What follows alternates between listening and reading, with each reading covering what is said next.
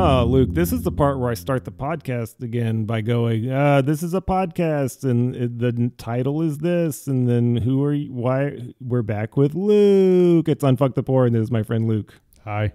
And Luke is back. Luke, you've had some time to reflect on our previous episode. What was what was your what was your takeaway? How did how did you feel about that last episode that we did? I definitely learned a lot about you. Um, and it made me definitely reflect on some of my personal experiences. Um, Now that you know I'm a failed contractor, how does that make you feel about me professionally? I wouldn't call you a failed contractor. Not just failed, failed spectacularly. Like Oh, cannot run a business uh, you can run a business. You just into the ground. I was about to say you decided to go down in flames. Triumphantly. you you chose this path. You did this. It it worked. Whatever Like, you did going- worked. I'm going down with the ship. Oh Lord. yeah, I built I built my ship and then I sank it. Uh, you know, you, you, chose to be the captain and uh, you did what captains need to do. That's right. Assemble their ship while drunk and sink it. uh, so uh, the last episode we left off, I had just tried to kill myself, and I just came back to uh, consciousness. Um, so, like I ended with, you know, it takes years to build connections, establish routine and order, and only nine days to tank a business. I defaulted on all my credit cards. I defaulted on that predatory commercial loan. I stopped payments to all my suppliers, but I still made payroll. Well, my wife did for for me. I was in the hospital. And I couldn't do anything, but my wife wrote the checks. Uh, she actually, my wife is smart, and she took all the money out of my business account so that uh, They couldn't take it. they could not take it. And she, we did borrow some money from family to make payroll. Um, and then she was like, "Okay, well, we got to get money coming in." She was like, "What work have you done?" She she came and visited me the first weekend, and she was like, "I just," she was like, "I love you. You're alive. That's great. What work have you completed that we can bill for?" And I just listed it all, and she got a lot of money in payments, and Good on her. yeah, she knocked it out of the park. I knew she was impressive, but damn. yeah, um, she's awesome. I, I could not, I could not have gone gotten through any of this without her. You got lucky, man. I, I owe, I owe, I owe my life to uh, my friend Sean, and I owe the recovery of my life to my wife. Um, so in the hospital, uh, I did not want to do anything. Uh, period. Like I was done with life. Obviously, I tried to kill myself. Um, I spent the, I spent the first night in the psychiatric hospital just sobbing in bed. I have never I've broken down and sobbed before. I've never cried myself to sleep. Uh, that was the first. Um, the Seriously? second, yeah. Damn. I mean, I- no, don't get me wrong. During this period with my business, I would regularly just like stop working and start crying. But Mhm. going to bed, no, I just slept. Never cried at night during. going to sleep. Interesting. I'm going to ask you this question, and it's going to sound like I'm making fun of you, but have you cried yourself to sleep as an adult? What's your definition of adult? Because people have different definitions. you have the legal one, and then you have, oh, what do you know? You're actually doing adult things now. Yeah, that one. Is the answer yes to both? Yeah, actually. Okay. um, after some really, really hard breakups, it's happened. Okay. I'm not. I'm not gonna. I'm not gonna bullshit you. Um, and then, Well, all- you are a sensitive, caring lover. oh shucks, thanks. You wouldn't know, but you know, I appreciate you uh, giving me the.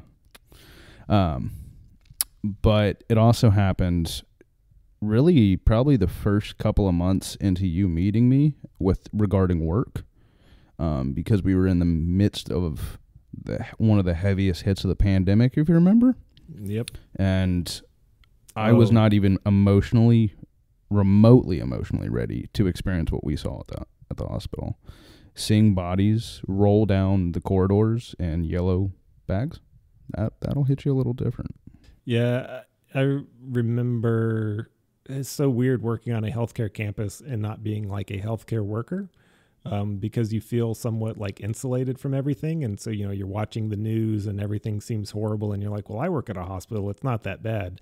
And then it really hit home for me when I, I watched a nurse on the plaza just like 11 o'clock in the morning. I mean, Mhm. just break down Mhm. crying like on the. I mean, my heart broke for that lady, and it also hit.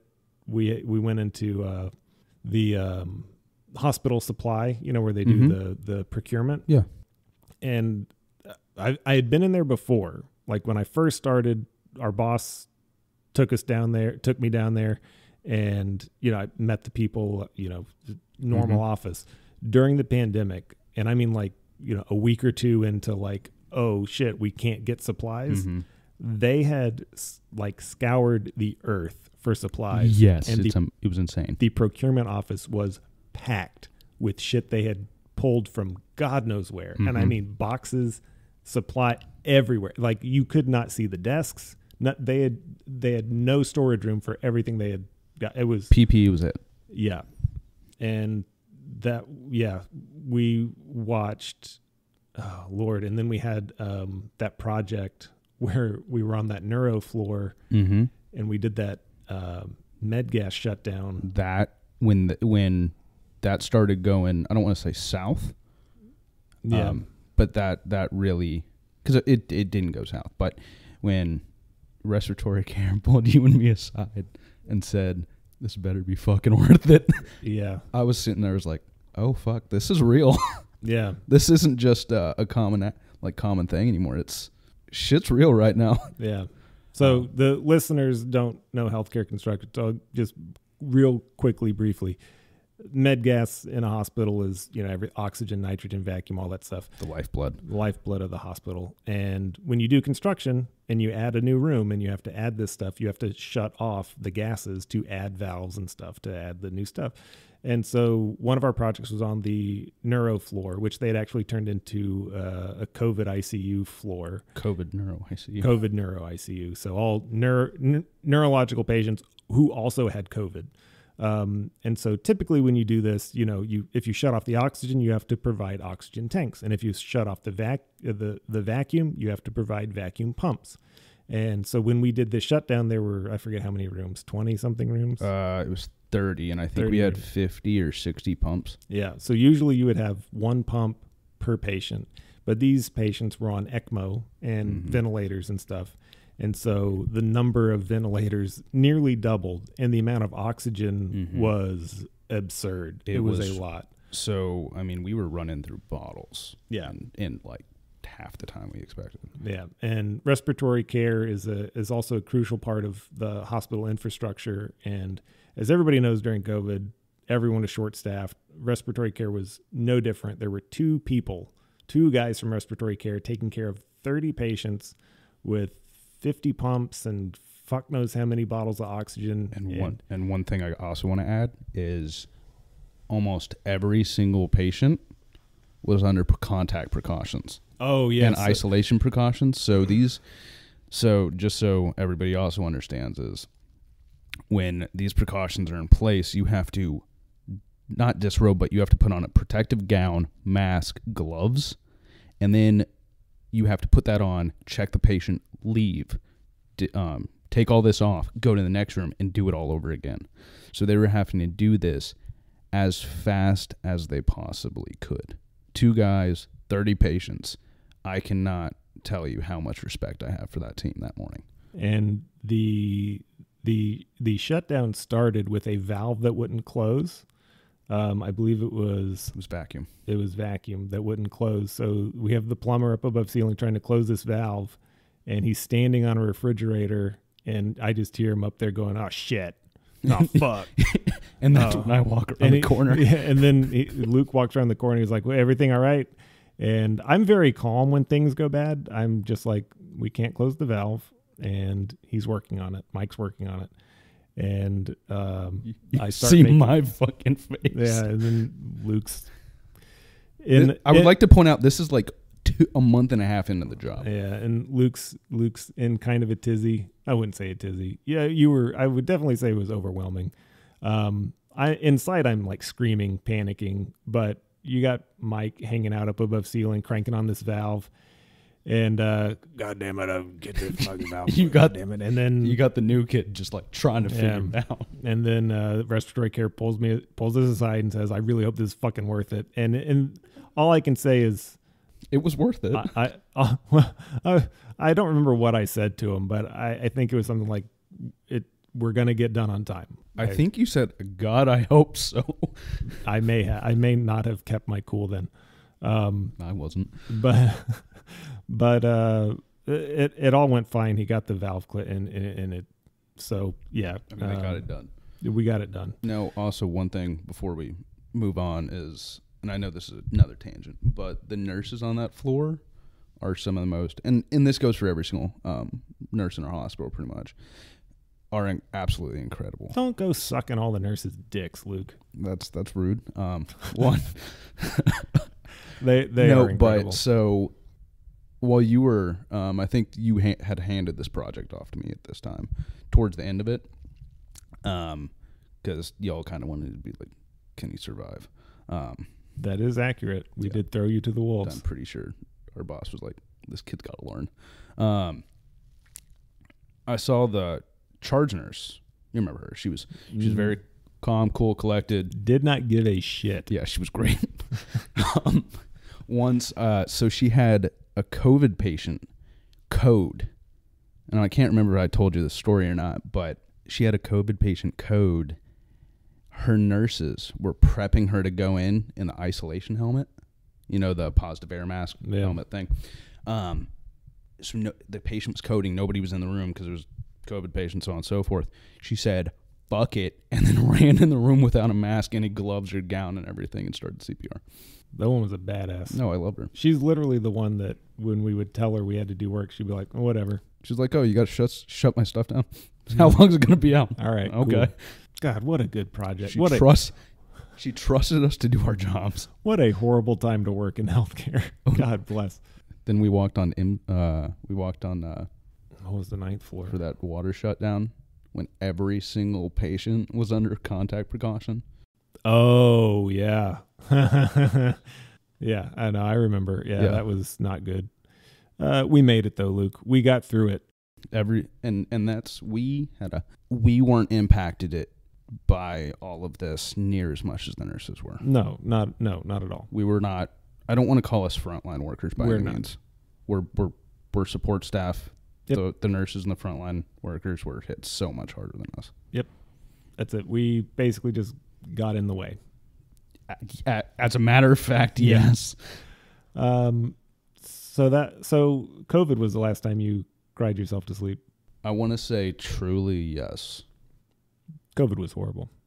So back in the psychiatric hospital, I spent Sorry the first that night. I love tangents. Uh, I spent the first night uh, sobbing in bed, and then and then I went to sleep. The second day, during a group therapy lesson, uh, when they asked us to write down who we were in our heads, I just started crying. That that is a cruel question. Who am I? I am nobody. Nothing. I am a failure.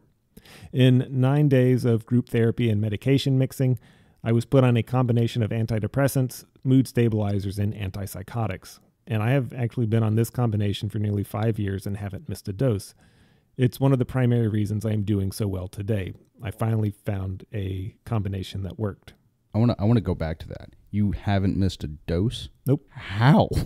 I have really good insurance. That not missing a dose. So you're talking about refilling a dose or are you talking about taking a dose? Taking a dose. How in the world did you do that? I missed a dose left and right.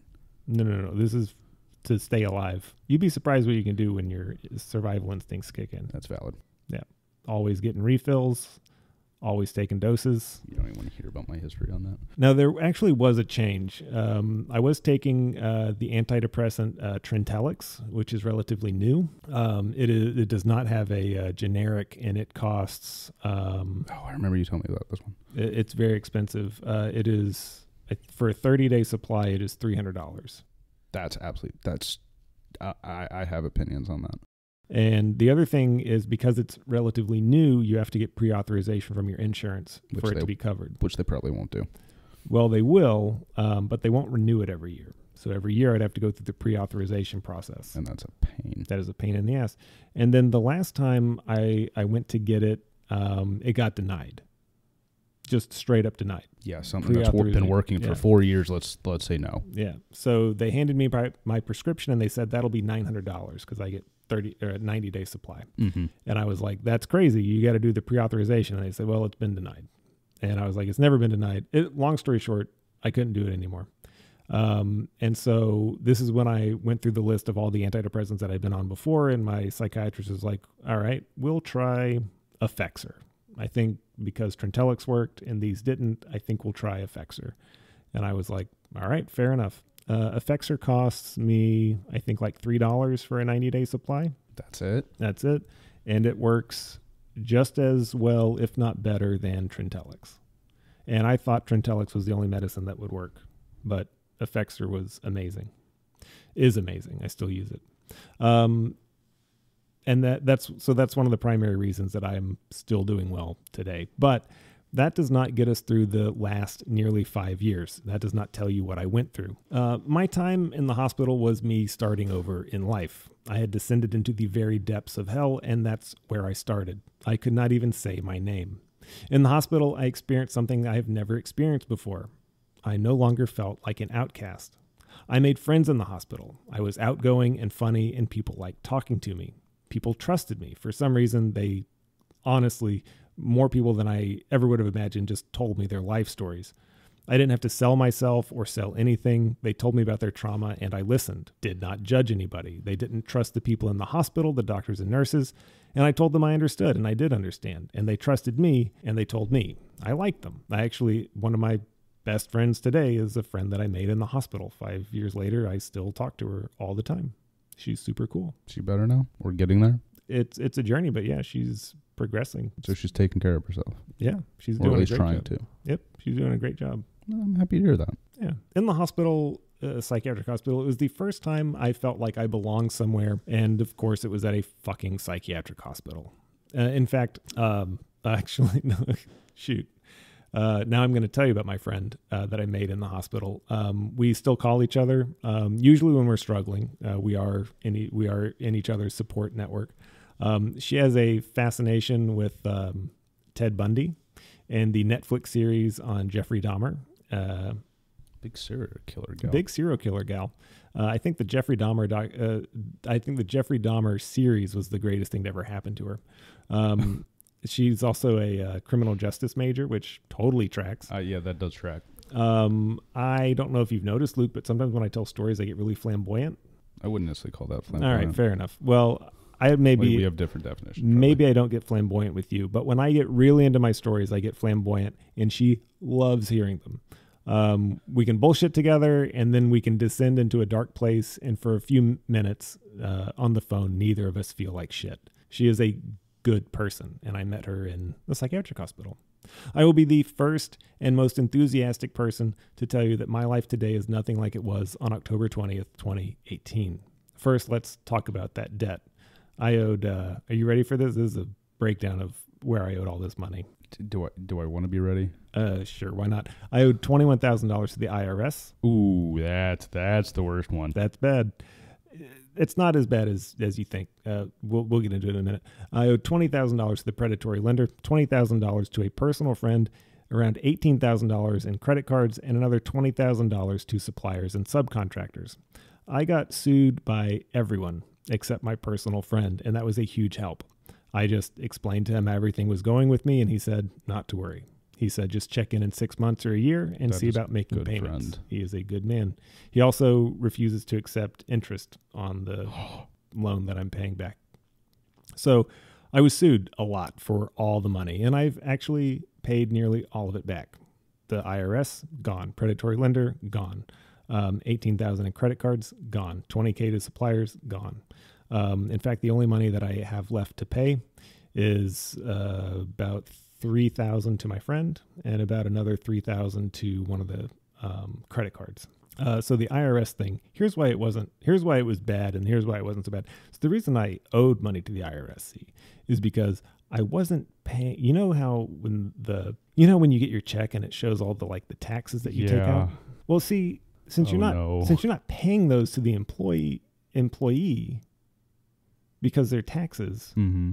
it's like a discount, right? You don't have to have that money in your account. right? Because you, can pay what the employee is owed after Mhm. taxes, and it's like you got a discount. So twenty one thousand dollars of not paying um, trust fund uh, taxes, um, the IRS was like, "Yeah, you owe that money." Um, I'd be like, hey, bud, you weren't taking it out prior, so uh, You we're gonna have to get our little bit now. Yeah, you owe it now. Um, so, but the IRS is actually a lot of people. Is the IRS um, more understanding than I think they are? Yeah. Um, it, it, the the only bad experience I had with the IRS was some lady answered the phone, and she was talking about how much I owed, and she was like, "Why didn't you pay this?" And I was like, "I didn't have the money," and she was like. Why did you keep these employees? And I was like, because I had to get the work done. And she was like, if you couldn't afford to pay them, why did you have them? And I was like, I don't think you understand how being desperate works. Like I had jobs to perform. Shit's and gotta get shit's done, gotta get done. I'm not making enough money. I was like, you clearly don't get the idea of winging it. Like, and she was not understanding. But the dude that was assigned to my case, uh, he was actually super cool. Um, and it takes months and months for the IRS to actually like get to the point where you can get a payment plan. Oh, And- so you had some you had some leeway. I had a I had a lot of time to get all the other stuff sorted, um, like going to court. to So did you have to get your own lawyer and everything? I'm assuming. no, I didn't get a lawyer. When oh, you're you you represent yourself. no, when you're sued for debt, um, and so here's what's funny for credit card debt. I don't know if you know this. When you default on a credit card, um, and they sue you for it, um, the credit card company itself they'll just hire a law firm and they'll just give the law firm the name of all the people who Yeah. defaulted, and so they'll give you a it's court like date. a collection agency. Yeah. So they'll give you a court date and you'll show up and there will be one lawyer for the credit card company or collection agency. And he'll just stand up there while the judge calls each name on his list because he's got like 30 people that have defaulted. So they're all at the court at the same time. No. Oh no, So if you that don't, sucks for that lawyer. so if you don't show up to court, uh, it defaults in the debtor in the yeah in the Full amount. in the full amount. And so I showed up to mine and every every single time, you know, they credit card guy stands up, he's got his 20 names, is so and so here? No, default. So and so here? No, default. So and so here? No, default. Is Joe Love here? Yes. have you have you made any effort to pay this? No. Do you intend to pay it? Yes. Can you talk with the lawyer out in the hallway? Yes. All right. Next is so and so here? Default. And then uh, so if I you- ever default, I need to go to court. yeah, and then so I would go out in the hallway and I would talk to the the lawyer. Uh, I'd be like, "All right, so I owe this much. You know, I can't pay it all at once. Can I pay it over like 24 months or 36 months?" Mhm. And they're like, "Yeah." And they're sitting there like writing out like, "All right, we'll do this," and they write the number on the agreement form, the the payment sheet, or Yeah. what the you know the legally binding document Yeah. they just fill in the numbers and then you sign it and then they go turn it into the judge. That's a, that's how you get a reasonable payment over a reasonable was period it, of was it for a lesser amount or full? the full amount, but over a longer period of time. Usually, a, a quote unquote reasonable amount of time to pay off, you know, a credit card debt is like a year. When you go to court and you are there and you can talk to the lawyer, they'll give you 24 to 36 months. Like, yeah. Was this a commercial credit card? Uh, yeah, these were these were um, So commercial terms are a little longer. Yeah. Uh, yeah. Also, I had a really nice um, American Express card. It was stainless steel. It was So super you have the. American Express Platinum? It was metal. It was cool. Very high credit limit on it. Um, Most, yeah. so, uh, all right. So, high, ano- high, high yearly cost too. yeah. So uh, another thing I did was 20k to suppliers and subcontractors. I actually got out of a lot of that because uh, a lot of the reason that they kept coming after me was because I wouldn't back charge them. Um, so when they would come back and say you owe us this, I, I actually I um, I don't want to say I got out of it, but I finally stood up for myself. There was a um, a glass shower door company that I owed like six thousand dollars to for a glass shower door. Here's the weird thing about construction and people, uh, business owners or whatever. They'll always say something like, yeah, "I saw you on Facebook or I saw your you know thing. Looks like you have a really nice family. I know you don't want to disappoint me." It's like, bro, this is fucking business. Don't so Don't get my family involved in Yeah, this. exactly. You get my family involved in this, we'll get bit, we'll get dirty. and she said that and i was actually i actually worked where we work now and she i was in the parking garage and she called and she said that and i was like You know what, lady? When your guy came out, he fucked up my brand new tile shower. I had to I had to pay my tile guy to come back, tear out the tile because they drilled the holes wrong, mounting holes wrong, and so I had to take out the tile and redo. It's like not that half- hard to mount a door. no, is it is not. And then they got the size wrong, so they had to recut it. And I said, "All right, listen, you cost me X thousand dollars in uh, in tile repair, Mm-hmm. um, blah blah blah." I said, "Do you really, do you really want to pursue this amount that I owe for the the door when you have caused just as much damage with your Yeah. incompetent installer. I was like, I think what we need to do is just call it even because I, I will just backcharge you for for the tile work. Yeah. I said I'll send you the invoice like today if you want. mm-hmm. And I never heard back from her again. Easy enough. Yeah. Um, and some suppliers just like dropped it. like uh, there Just was like, hey, we got enough volume. This isn't worth it. yeah, there was a dumpster company that I was behind on like I think two or three months and So what? What? Thousand bucks? Yeah, something like that. And the thing is, I, I hadn't called them to pick up their dumpster.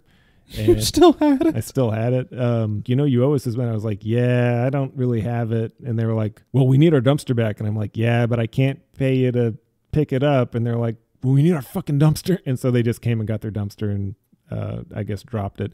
And actually, I had one. So the good thing about making connections in construction is you, you make good, con- you make personal connections. Yeah. That's the interesting thing about construction is people think think it's, It's different than what it is. business. Yeah.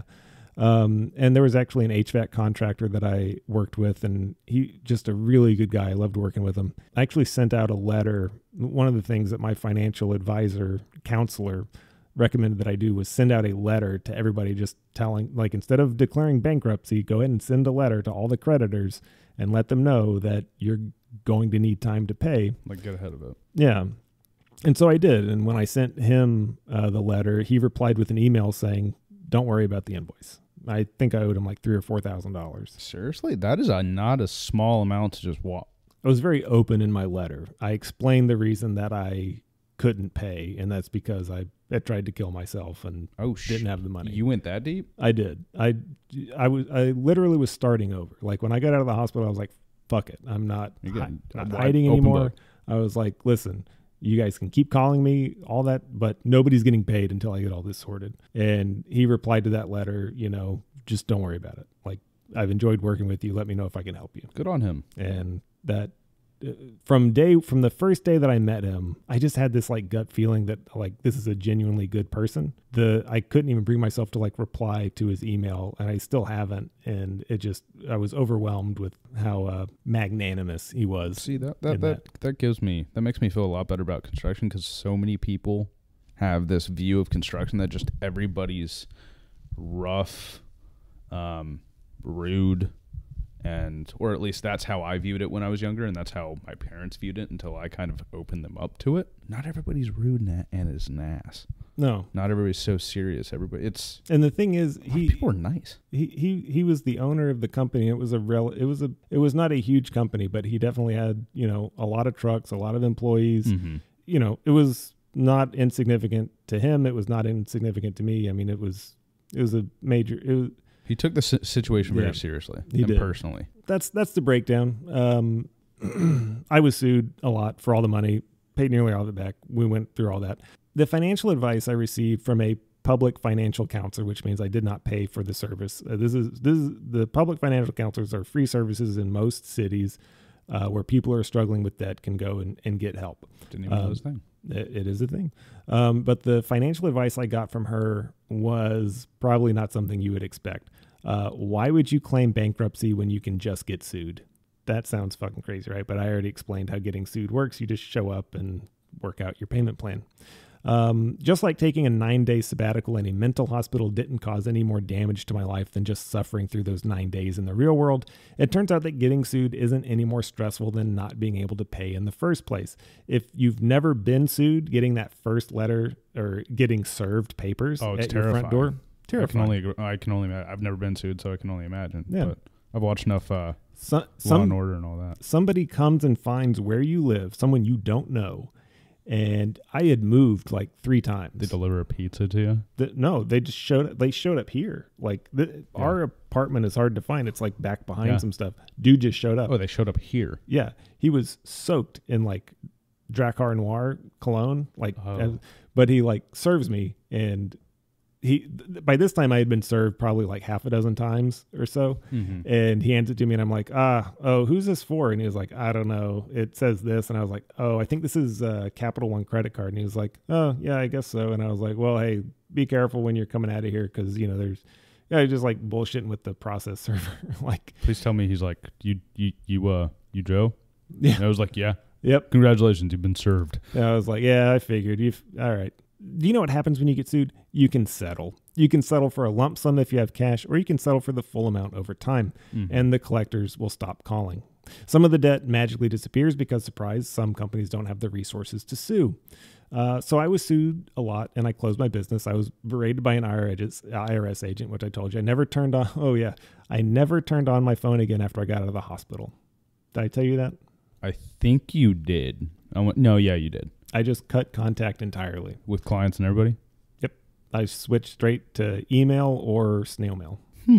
Your your father, as a lawyer, should have taught you this. Um, the only way that you are required to communicate with anybody is through the postal service. Did, is that is that binding? Yep. So that's actually legal. They, they have no right to call you. They have no right to send you emails. They can only send you an email to your last, or they can only send you mail to your last known address. Interesting. They can serve you at your address. They can send you letters. Did not know that. Um, now that doesn't mean they, you know, if they can't find you, they can still sue you, right? They can put out a notice, whatever. But Put in your local paper. yeah, but so I got the phone calls to stop. I don't get phone calls anymore, partly because my phone number changed. But uh, yeah, it all it all stopped when I was like, "N- no more emails, no more phone calls. You got to mail me. And uh, most people who want their money We'll go through with it. But whatever. All right. Mhm. Okay. I get it. Uh, I don't really want to hash out all the intricacies of why I failed in my business, but I did leave my business behind with a very bitter taste of capitalism in my mouth. I thought I had the tools and skills and knowledge to be successful, but I only wound up losing myself in the experience. There was no personal growth, no sense of accomplishment at any time. I built a whole fucking house, and when I was done, I was just like, thank fuck that's over with. um, I came to actually hate my customers and I started to resent successful people in the construction industry. I wanted others to fail. In reality, I just wanted everything to stop. The last five years have been a process. I started out in intensive outpatient therapy. That's like group therapy for suicidal people, where I made more friends. I learned a lot of coping skills, and I learned about my brain.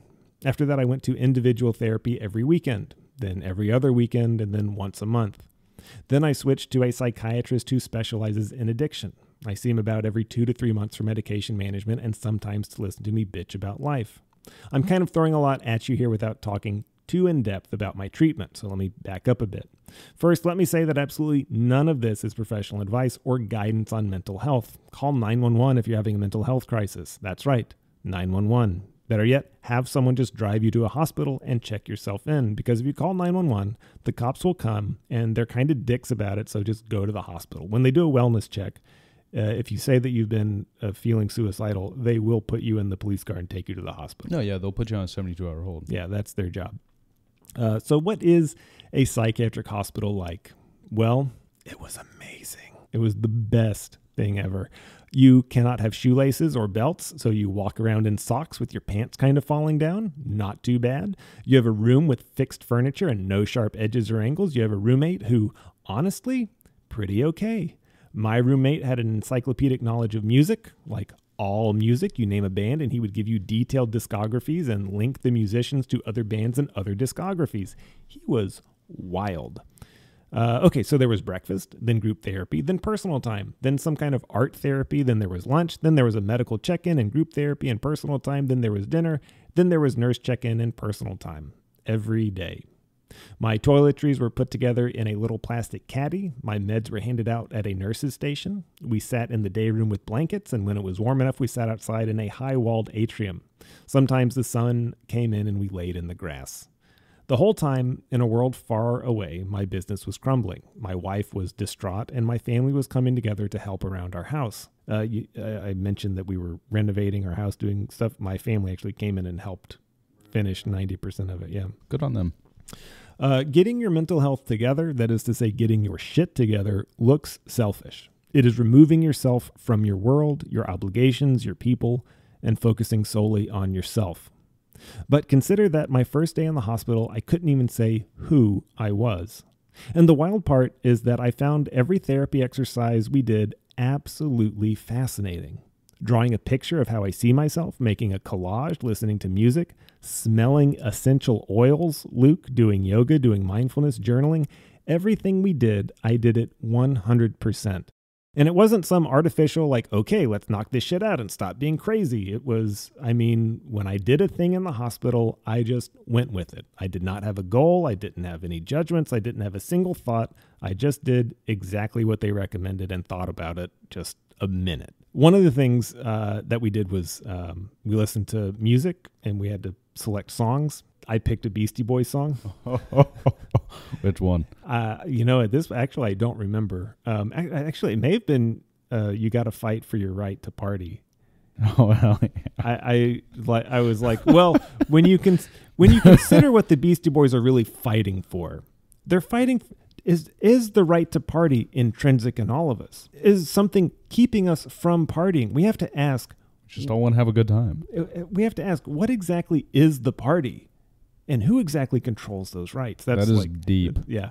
Um, so what what what songs represent the emotions of fear, confusion, mistrust, coming of age? Like you got to fight for your right to party. So when you do the song thing, you have to like really sit there and think about what the words to the songs mean and what they mean to you.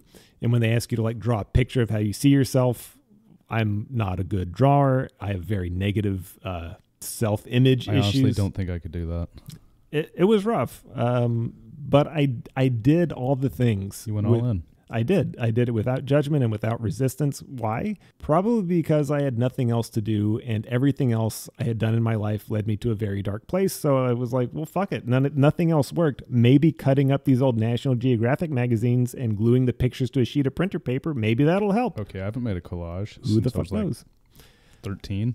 Listen, there is actually something really satisfying I about cutting that. up a magazine and then gluing all the pictures together into a, some other god awful creation. Honestly, I could see that. God, it's so fun. Also, that question, who are you? That is such a loaded and un. I, I hate that question because I don't they, even know. There's no way in hell I could answer that right the now. The fact that they asked it in a psychiatric hospital that makes it so much worse. That's that's somewhat like sadistic, right? Like let, let's ask all these batshit crazy people who they think they are. Who are you? I don't fucking know. who are any of us? If if my healthcare professional asked me, "Who are you, Luke?" I'd be like, "Can we come back to that in a couple months?" when I know. Let's get through the nightly sobbings first. then I'll tell you. I, I can't. I can only focus on one thing at a time. that is true. if you remember. Um, the the first realization that I came to about myself and perhaps about the world is that I cannot stop people from judging me. I cannot insulate myself from the opinions of others. I cannot stop the way that people will view me as a business owner if I don't pay my debts. I can't stop the way people will think about me if they hear that I actually really sucked at running a business. However, I can approach my own life without judgment. I can approach other people without judgment. I have always been open minded, but not necessarily judgment free.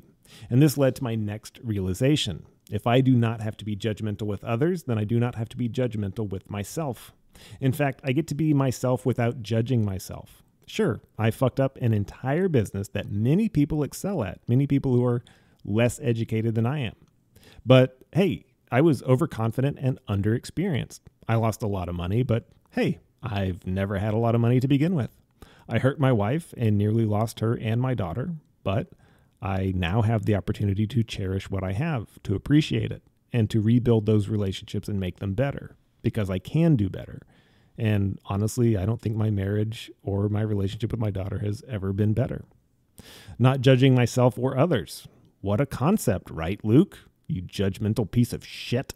I mean, that's I, I I I mean, yeah, I do judge people. Um, there's no ifs, ands, or buts about that. And I think that's the hardest thing. Are you being serious right now? Are you kidding me? Of course. I- Of course I judge people. I mean, it's it's literally it's it's the hardest thing I have to battle is trying to put aside all of your I guess assumptions about people um, and what you expect out of them. And I think that that might be the hardest one of the hardest things I have to do. There was an avalanche of truths that followed this breakthrough. But this is where I have to digress again and tell you that this is only true for me. Mental health does not have a one size fits all solution, nor do all diagnoses have the same causes or treatments. Depression caused by past emotional trauma, traumatic brain injury, and even just poor brain wiring all have wildly different treatment approaches. So, you know, I'm just giving you the rundown of what I went through. So, no judgment. It needs to be said that this experience put my wife through absolute hell, and for whatever reason, she stuck with me through the whole thing. She was a very good, very loving person. And there was a lot of shit that I got wrong. For one, a lot of the debt I incurred during the failure of my business I had kept secret. So when I started getting sued for non payment, a full reckoning of exactly how fucked we were was in order. Imagine $90,000 in debt that you don't know about. That is frightening. Uh, thanks to my financial counselor, most communities have free financial counseling centers. I learned to just roll with it. You get the collection notices, you get served with court papers, you call and settle with a payment plan, you budget for the payment plan, you show up in court, you do the payment plan. It's it's really all mundane after a while. I cannot count the number of process servers who came to my door. Each one of them I just kind of chatted with and thanked them for doing their job. But I, I'm getting off topic because the money was only part of the problem. Another part, something that led me to drinking heavily, something I didn't even know was weighing me down, was this thing about my father. And I covered that in a few episodes ago. I carried a lot of this shit with me. I carried it, repressed it, ignored it, and I never thought about it, any of this stuff with my father. My father has now been in prison for five years. He has 13 years left on his sentence. I haven't spoken to him this whole time. We were never close because he's a he's always been a real piece of shit, a real fucking asshole, but there had never been any real reckoning. In therapy, I asked how I was supposed to forgive him for what he had done, and the best advice I've ever gotten from a therapist, she looked me dead in the eyes and said, "Why would you forgive him?" I said, "That's what you're supposed to do, right? To be a good person?" And she said, "No, that was bullshit. Some people don't get forgiveness." And with that came great freedom, but not resolution. Part of my personal therapy journey has been a continued pursuit of mindfulness. Sometimes yoga, stretching, exercise, basically not succumbing to the desire to lay and do nothing. Mindfulness is work. But another part of my personal therapy came in the form of writing out every single memory I had of my father. And you know what? I have no good memories of him. Every single memory that I can recall had something to do with him being an asshole. Every fucking one. Most of them aren't egregious. Some of them are. Some involve yelling and hitting and shaming. Others involve subtle humiliation. Uh, Luke, when I was in high school, uh, I had a laptop that my father gave me. It was an IBM ThinkPad. It had Windows 95 on it. It Center, weighed, center mouse. oh yeah, the little red mouse Oh, in the those middle. things are awesome. It weighed 20 pounds. It was the best. I kept my I kept a journal on there. Private thoughts, personal th- Oh no. basic just things that 15-year-olds think about and write about. You know, Knowing- getting developing your personality, learning how you think about things. Knowing what I know, I know where this is going. Yeah, so one time uh, my computer crashed and I needed my father to fix it. And so I brought it to his house. And uh, he showed up at Thanksgiving. He gives me the computer back and then he proceeds to relay to the family the things that I had in my journal on my laptop. That piece of shit. That piece of shit. So Luke, this is kind of why this is kind of why I invited you to do this episode. So I wrote down every memory in a notebook and planned to have some sort of ritual to burn the entire thing when I hit 5 years sober and alive. It's taken me this long to bring this whole thing with my father to a reckoning. And you know what happened after I wrote all this down? I opened myself back up to my stepsister, who I had avoided for years because of the shame. I was ashamed of myself for not knowing, not protecting her from the abuse. That is a dark, black feeling deep in my chest. The practice of writing down every painful memory was like shining a light on that darkness. And as fucking cheesy as it sounds, that's what worked. I've since gotten better at reconnecting with my stepsister. We did that whole series of episodes with her, and we both texted after I published them, and we both said the same thing. I'm so glad that we did this together. I'm glad to hear that. It is no small matter that I know now this is what my father wanted to avoid all along. All of us talking together, knowing each other, becoming an actual family. Fuck that guy. This has been a huge digression, but this is all part of a theme. When I say I've been gone working on my mental health, you have to understand this is what working on it looks like. I took 10 months off from this podcast, and in that time, I went to my job every day acting like nothing was wrong, acting like I don't go home and take extended naps just to wake up, cook dinner, and go back to bed, acting like I don't give up on my interests and instead zone out to play Fallout 4, acting like I want to get out of bed every day. What suffered were the things that brought me joy. I had not been doing much research, I hadn't even been taking photographs. I had not been riding my bike or eating healthy meals or even working out. As far as depressive episodes go, this one has been mild but with serious consequences. As a person who creates, the last 10 months have been pretty stale. I have lost countless hours of personal productivity. Instead, I've been reduced to continued capital productivity. That means I just go to work and collect a paycheck. Now, I don't want to tell you your business, but this is completely fucking backwards. What would have given me joy would be the time and space to work on personal projects, a reclamation of my energies, a time to refocus, and taking a break from my regular Monday through Friday job.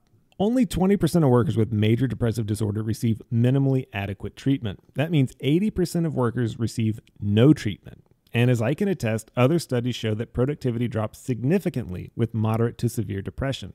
In my case, I am an incredibly productive person, usually working on something for 12 to 14 hours a day.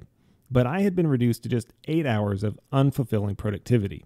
That's a 33 to 43% reduction in productivity. Now, just to put that into context, what I'm saying here, Luke, is that I did my job for 8 hours a day. Normally, outside of work, I would work an additional 4 to 6 hours on personal projects. That's like standard for me. Not because I'm an overachiever, but because I just love doing stuff. I like to have my hands busy. You- You're not an idle person. Idle hands spend time at the genitals. I thought you were going to say idle hands are the devil's playground. No, idle hands spend time at the genitals. Oh, okay. Haven't heard that one. And I cannot be touching my genitals all day long, Luke. Uh, that that would be that would be an issue. Luke, you are not yourself when you're depressed. You're And right, also- you're not. All of my problems are not solved. I live in much better conditions than when I was a kid. Half my family lived in trailer parks or public housing. Like many Americans, we seem to be in this weird cycle of never enough. No matter how well we're doing in this family, my family, something always comes up financially that sets us back. Always. We teeter on the edge of breaking even every month and overspending, and we are conservative with money. What I'm getting at is this life does not stop, life persists, ceaselessly craving more of us each day, even when we have nothing left to give. We wake up every day to heed the call of time itself, plowing forward in sunrises and sunsets. We never get a break. Sometimes I stop what I'm doing and look at my wife or my daughter and I smile, or I just tell them that I love them, because I still have them and they mean the world to me. My family is the only thing that truly matters, and because I got a second chance, I will never take that for granted again. That means I occupy two realities. One is a subterranean world of creeping depression. It is always just below the surface. Sometimes it unbalances my humors, and I have off days or off weeks or off months. But the other reality is the surface, where, Luke, you and I interact with the world every waking moment. I've learned to slough off most things that would normally drive up my anxiety or sink into a depression. I like telling people I have superpowers. Oh, Luke, have I told you this? My superpowers? What are they? One of them is being awake.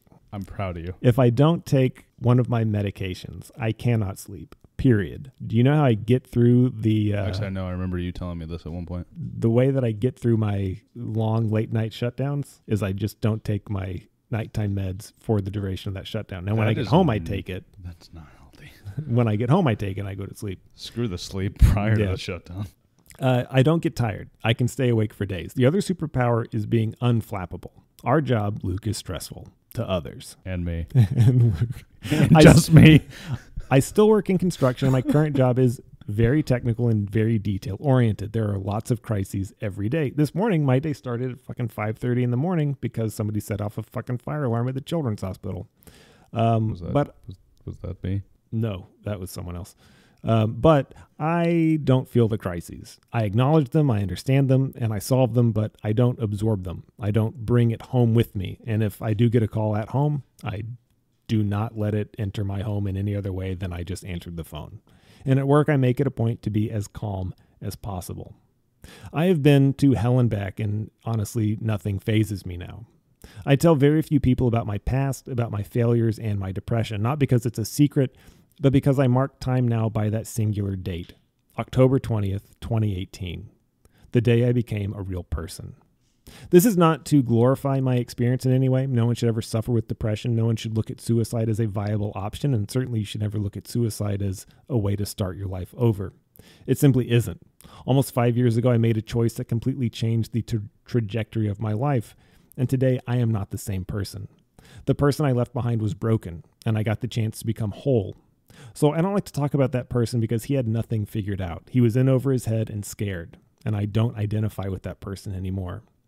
Today, my depression is manageable, but only because I went in 100% and used all the tools given to me in treatment, whether or not they worked. I use what works, and I appreciate the experience of learning what doesn't. So there you go, Luke. I've opened up to you. I've opened up to you in a way that I do with few people. I love that I get to make this podcast. I love that my life now has the time and space for me to pursue hobbies that I love. And I love that the people that do listen to this podcast, I do love that they listen. I'm in a better place now, and I look forward to getting back to more regular episodes. Luke and I specifically chose to do this episode with you because you and I have talked about mental health in the past, and uh, really I wanted to express how much I appreciate, um, on a personal level, your willingness to talk to me about it. And I felt like this would be a good way to express my gratitude uh, just on a personal level. Now, on a professional level, I find you absolutely insufferable. Oh, But- I, trust me, it goes both ways, man.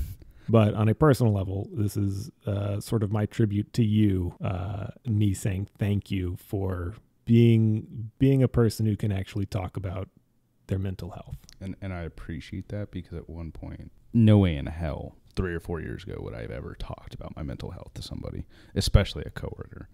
Hell, I didn't even talk to my family about it until three years ago. Uh, what what did you say to him? Um. Well, uh, the time I was driving to work, and it kind of hit me at that point. Um, I called my friend.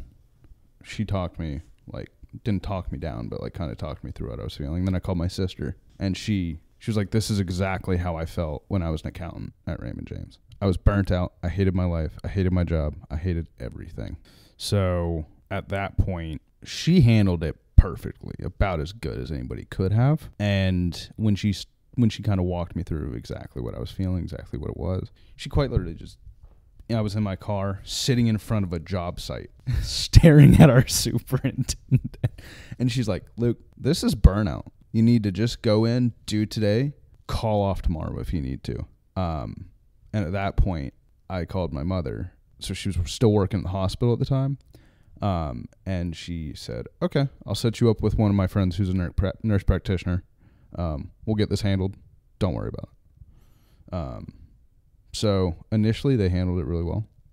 Um, later on, when I started to kind of like withdraw a little bit, and that's when they started pushing and getting angry because I was withdrawing. you know, as one does. yeah, your your family doesn't take kindly to that when they when they help you, and then you're like, ooh, I'm gonna. I'm just like, I'll handle this alone. Yeah, they don't like that. This is not your issue anymore. This is No. mine. See, but that's um, how you know you have a good support network. Yeah.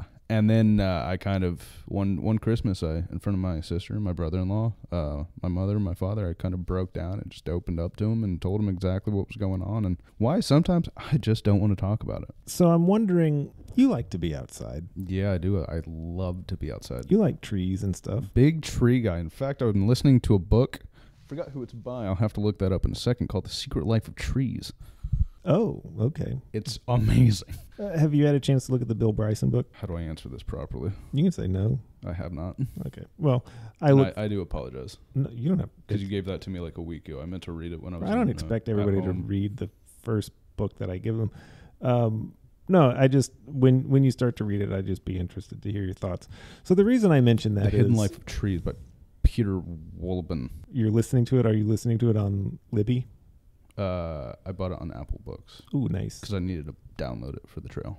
Ah, so let's talk about that. The old trail. The the trail. What are you doing with your life right now outside of work? Uh, well, I'm in the process of uh, walking 2,200 miles. Aren't we all doing that, Luke, in our lives, just walking arbitrary numbers of miles. Well, miles? you and I walk way too much on a normal basis Why are you walking 2,200 miles, Luke? because I thought it would be fun. Is that, and like- then I figured out that it's a lot more than fun. is that a specific length of something? oh, it's the Appalachian Trail. Oh, I Yeah. see. I get it. So you you have taken on the um, the noble pursuit of hiking one of America's greatest treasures, nat- natural treasures. Yes. The Appalachian Trail that goes from somewhere bumfuck Georgia to Bumfuck Georgia to bumfuck Maine. that's right. Uh, so you go from the the the deep south of the deep south to the deep south of the far north. Pretty much. Yeah. You go from country to uh, northern country. Now, obviously, you're not on the trail right now, but Unfortunately not. but you're still in the middle of doing the Appalachian Trail. Yes, so I'm 318 miles in. So the way that you're doing this is you're taking time off of work, you're flying, driving, hitchhiking, sucking your way to wherever trailhead you got to go, Pretty much. and I, then haven't you, got, I haven't resorted to sucking yet, but you know, shit could get desperate. You never know. you you never know what you do for the AT, baby. You got to get back to town somehow. I, got to get that resupply. I see a flatbed and a lonely trucker. This guy, this guy's taking me home. Sir, can you take me to the grocery store? I need more ramen, please. I need beans. and what you'll do for beans. So you take time off work, you schedule these trips out to the woods, and you hike Mm-hmm. long distances. Yes. Last one And- was 195 miles over 12 days. And you've hiked 300, how many? 18 this year, 318 this year. not year. including like weekend trips on trail. So I have to ask you this. What do you get out of it? To put it bluntly, a sense of simplicity. You- Okay. You, no longer have to worry about your phone. Well, actually, I, I do because I use something called used to be called Guthook, but it's essentially like that was trail name of the guy who made it. It's now called Far Out. Um, oh, good. That Far Out is a much better name than Guthook. I don't think you realize how pissed off the trail community is um, that it's now called Far Out, other than Guthook. Um, Also, to be fair, uh, you did fucking call me from the trail to ask about work. I've never been more pissed off. Yeah, you. I know. I got that tone. I got a call from one of our directors of one of the units I work in where I, I have a project that's adjacent to. And he's like, Luke, we got a problem. And I was like, oh, shit, I knew I shouldn't have turned on my phone. I can't hear you. There's too much tree, too many tree. And I was like, uh, sir, um, I'm in the middle of climbing a mountain right now. Um, I might not have service. Um, I'm in a real pickle here, guy. so, uh, and he could hear me breathing freaking heavy because I had my headphones in because I, t- I needed I needed to book a reservation for a hostel to the town I was coming into.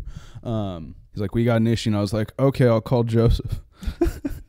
I was like, he'll be able to handle it for you. And he's like, where are you? And I was like, I'm in the middle of climbing the mountain on the Appalachian Trail. And he's like, damn it, you're lucky.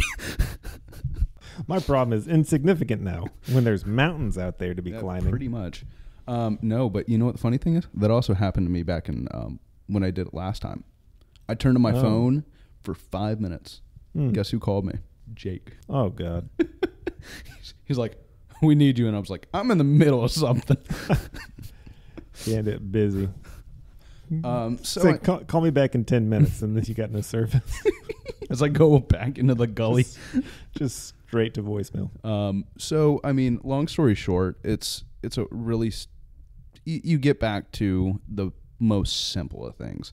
The goal of the day, and the, and you really live by the day. You wake up.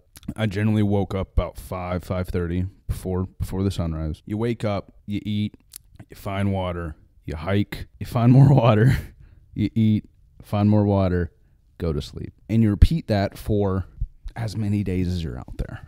Um, some days you might go t- into town, um, and it gets a little bit more complicated. It gets kind of nice when you get into town because you have AC, you have food, you can go get you can go get drunk. Because yeah, that's what I did in Hot Springs. To be fair, you can get drunk on the trail too, but I imagine it's not as fun. Uh, no, it's so much more fun.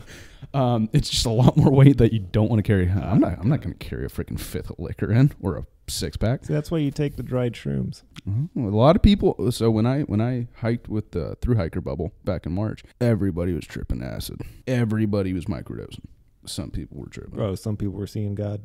Some people were seeing dragons, man.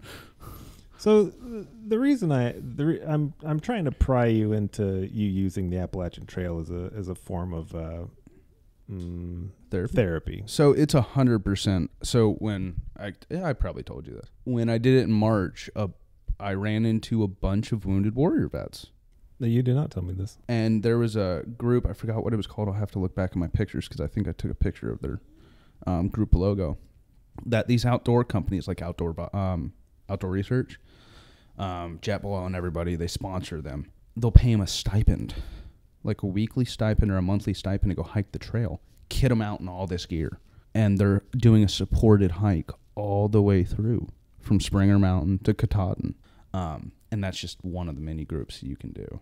So, and then I also ran into one guy um, that I hiked with pretty much since day two. His name his name was Swayze. That was his uh, I want to say his call sign in the military, and he had been through.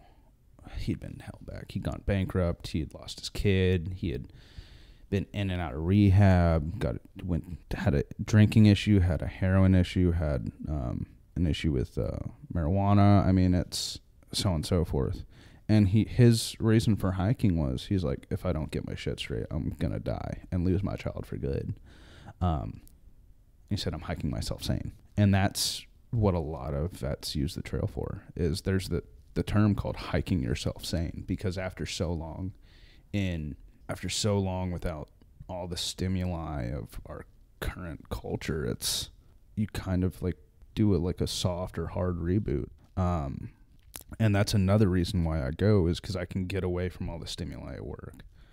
Um, because I mean, you you've seen during this podcast, I'm routinely checking my phone.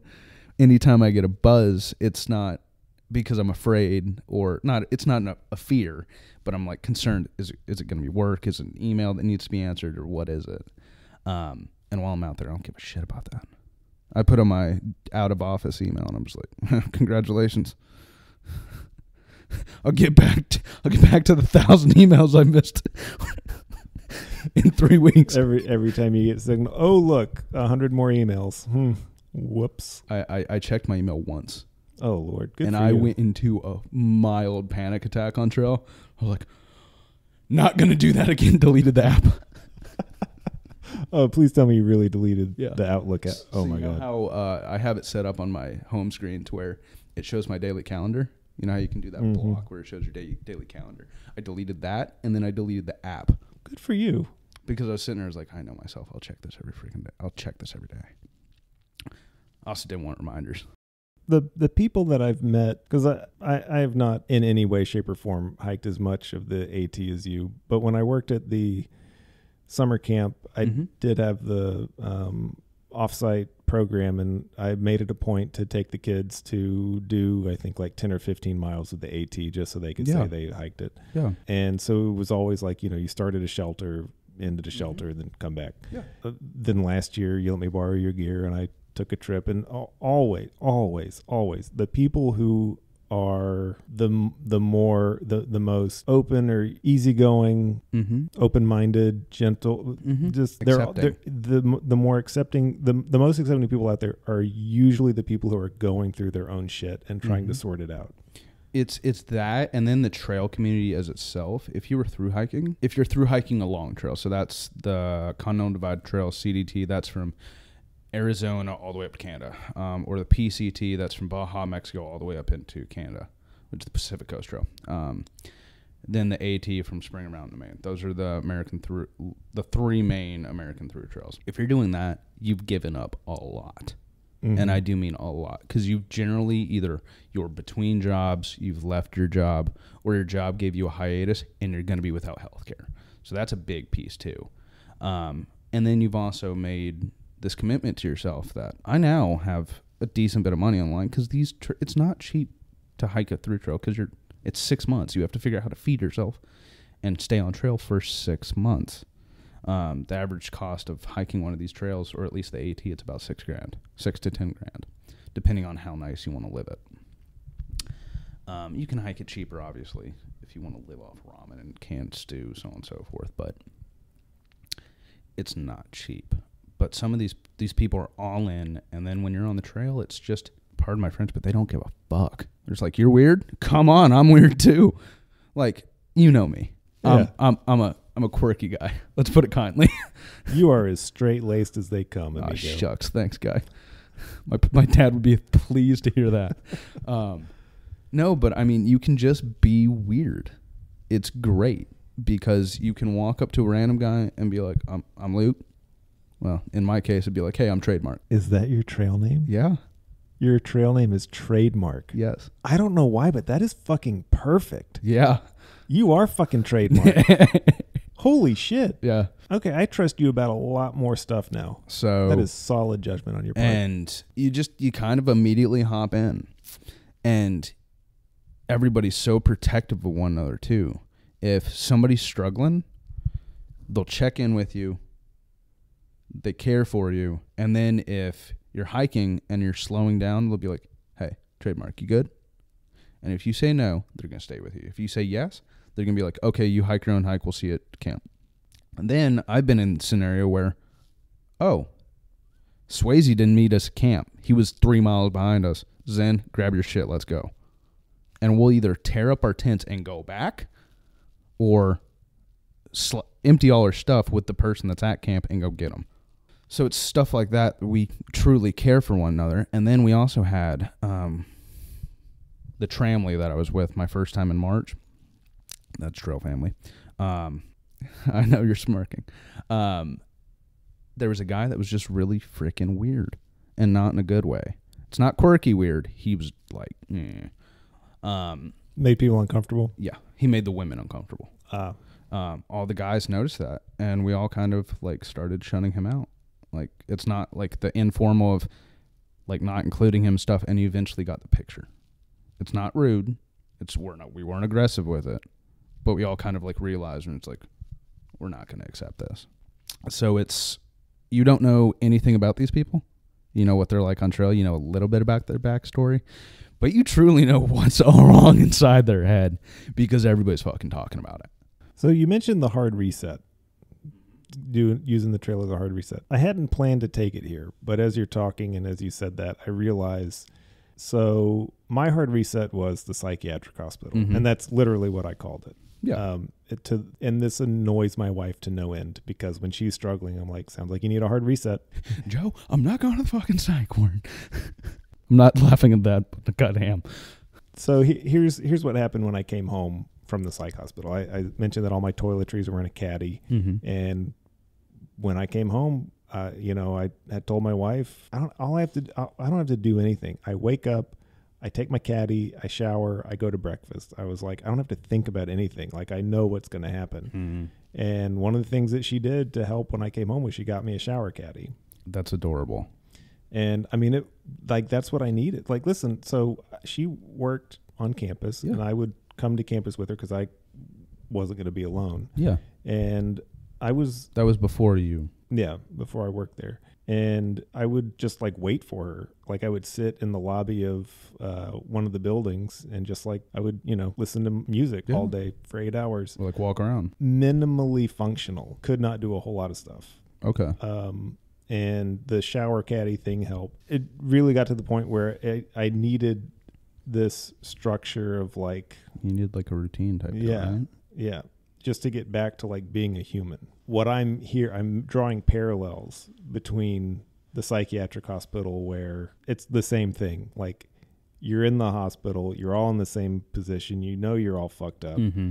There's going to be one person who's like, we don't want anything to do with that person. Yeah. But you're And those people rude to them. drop out in the first 30 miles or the first. So the statement, the, there's two statements. Get the fuck out of Georgia.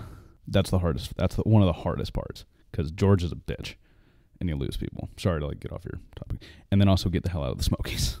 Ah, because the Smokies also drop people. So once you get past, once you get north of Hot Springs, which is about 300 miles in, uh, yeah, get roughly 300, maybe like 280. Um, you're you're gonna you're you're sitting pretty. You've you've dealt with a lot. You've dealt with a shit ton of pain. You've struggled. You've contemplated quitting every single fucking night.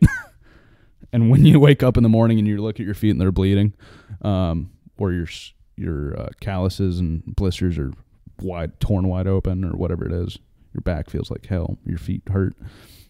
You're cold. you're wet, and you just you're like, well, let's do it. the the parallel I'm I'm drawing here is um, it's not it's not the same, but it's exactly the same.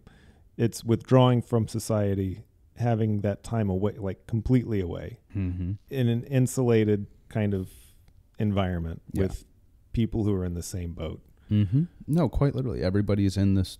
Everybody's in it together. It feels it makes sense when you're on the trail, right?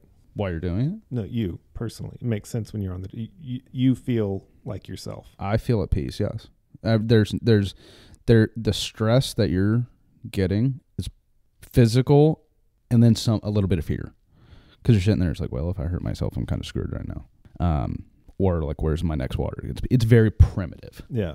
It's a primitive kind of fear. So your body just kind of reverts to what it needs, if that makes sense. Mm-hmm. You're you're not doing something for somebody else, and you have such a routine. Kind of back to your thing. You wake up, you take your shower caddy, you go shower, and you go to breakfast. Every day is not the same, but every day is kind of the same. It's it's funny that you're able to do this. Well, n- not funny. Here, here's the here's the thing. If I realized I could deal with my mental health issues in a healthy way earlier, Mm-hmm. because I always knew that I I loved being outside. I loved riding my bike. I loved Yeah. doing all this stuff. It never it never ever clicked to me that like these are the things that I should be doing regularly for my mental health. And it wasn't until I was hospitalized that and I'm going to bring two things together. So last year you let me borrow your stuff and take a hike. I hiked what 3 days something like that. Three or four in the Smokies or something like that. And Sounded amazing. something that I hadn't done in a long time, and I missed it. And but there was that sense of familiarity that I hadn't felt since the psychiatric hospital, which was wake up, make breakfast, put your shit together, put your shit on your back, start walking, yeah. do all that Filter it and go. and then It's so simple. and then get to your next checkpoint or your next campsite. And the funny thing is, is I didn't make the connection in the psych hospital, but I made it af- when I went on that trip. That that was what I liked about all the other activities that I've done, Mm-hmm. like doing the um, the adventure program for the summer camp, doing cycling, like training makes sense. You you it's very regimented, and it's. I'm not saying that you know everybody benefits from like rigid structures. That's certainly not the case. I I couldn't agree more. But it is to say that as humans, we recognize we we know the behaviors and the activities that benefit us that make us Mhm. feel the best. We don't always make the connections that those things, the reason that we engage in them, that we pursue them is because they help bring us back to that almost like a hard reset area. Yeah. It helps center us. it, it makes it I don't want to say everybody needs a simple lifestyle, but in today's world, you need to get away and get simple. Yeah. Cuz it's it's it especially in our jobs, it's everything's an emergency. Go go go go go go go go. And that's not even to say like everybody needs to go hiking. No, mean, I- I- everyone everyone would benefit from it. No, but nobody needs to be hiker. No, And I and I I, I kind of mean that cuz I like the trails to myself. You need to go hiking, but don't go hiking. listen, there's enough national and state parks for everybody to hike a little bit. Just a little. Not all the time. No, everybody needs to go. I, I think everybody does need to live be outside more though. Be outside and that's true. And that's an honest opinion. But the the other thing that I get into a lot when talking about like mental health is I I harp on mindfulness a lot, Mm-hmm. and not everybody's down with it. It's you know It's so hard. It is hard, but th- this kind of goes back to being in a psych hospital, hiking, doing Mhm. that. Hiking is a one long continuous mindfulness exercise. You can make it one long mindful mindfulness experiment um, if you want to, but that you will drive yourself insane. I did it for an entire day on my my last most recent 12 day trip, and I was like, I can't do this. So what I did is I did every the first two to three hours of every every single day. Um, no headphones, no phone, um, no podcast, nothing. The only thing I could look at my phone was for was the map and to make sure I didn't pass my last water source. Oh, that's so interesting because when I did my hiking thing, I never listened to anything. I didn't did not have my phone out. I had my camera with me and I took some Yeah. photos, but like it was I like just walking and listening was like all I I did not want to hear Yeah. anything. So it. Oh, it, oh, Go sorry. ahead. No. And the water. When there's a water feature and there's running water. Oh, I the take fact that headphones like- out. 100%. Oh yeah. No, no questions asked. Well, especially in- in the summer and during, well, I went in September, late September, October. Um, I finished the first week of October, and that's bear season, baby. you don't hang around water sources without Oh, with yeah. your headphones in during bear season because the, that's their territory. As I said, bear. We both looked at Joseph's dog. She's a very aggressive beagle. Um, how do you want to wrap this up, Luke? Do you feel like we've made? Do you feel like we've tied in our connections? I, I feel we we've definitely learned a lot about each other. I'll tell you that. Is there anything you want to add? um, I think everybody needs to definitely give themselves more grace I and more understanding and kind of like you need to expect something out of yourself, but I think everybody, a lot of people hold themselves to way too high of a bar.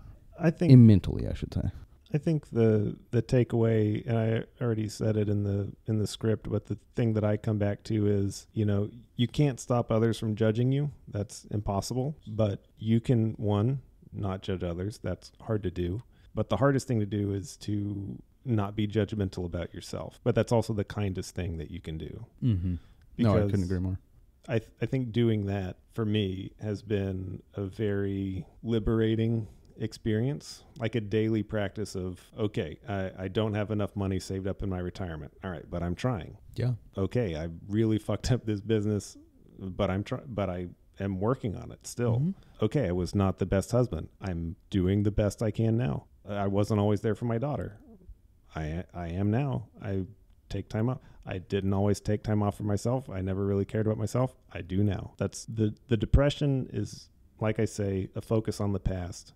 It is manageable when you allow yourself the like you say the grace to look back and say, "Okay, yeah, all that happened, but today, today I am not there. Today I will not return there." It doesn't mean anything in the past didn't happen or that it's insignificant. It's Yeah. all very significant. And I think that a big part of that too is acceptance. Yeah. At least in my opinion, personally, that's probably the one of the hardest things I can come by, is accepting what happened, and in a way moving on to give yourself Yeah. the ability to cope and get better. Because I'll be honest, I I don't think about that day, October twentieth, twenty eighteen. I don't think about it all the Mhm. time, and sometimes I feel guilty because I'm like, oh, I really should think. I don't think that all the time. Mm-hmm. What I do think though is I've been alive for this long. I've been sober for this long. I'm way better now than I was then, and I know that I can keep doing better. But I don't think about that day. That day was a horrible day. So you don't ruminate on that day anymore. I don't, and, but it's not like I avoid thinking about that day. Yeah. I just I've come to terms with that day for what it is. It certainly has impacted where I am now, obviously. Mm-hmm. I give myself the grace to admit that I was I fucked up. I didn't I had no I had no help. I had no I had Mhm. no idea how to deal with any of it. And, and and so something else I'd like to add is I don't think enough people let others in Yeah, that's a big thing too. because the first step to, at least in my experience, was to say, "Oh shit, I can't do this alone."